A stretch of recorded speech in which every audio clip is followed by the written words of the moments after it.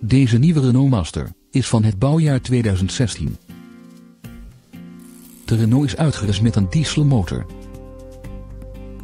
De handgeschakelde transmissie telt 6 versnellingen en de overige is voorzien van onder andere traction control, mistlampen, ABS, ESP en een airbag. Dankzij de gemakkelijke schuifdeuren is het zelfs in de krapste situaties gemakkelijk in- en uitstappen. De Master is verder voorzien van onder andere een verhoogd dak en een trekhaak. De Renault is uitgevoerd met getint glas, een bestuurderstoel met verstelbare zithoogte, centrale deurvergrendeling met afstandsbediening en een startonderbreker.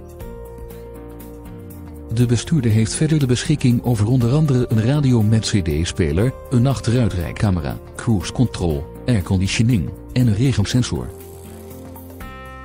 Is deze auto iets voor u? U bent van harte welkom voor een vrijblijvende, nadere kennismaking.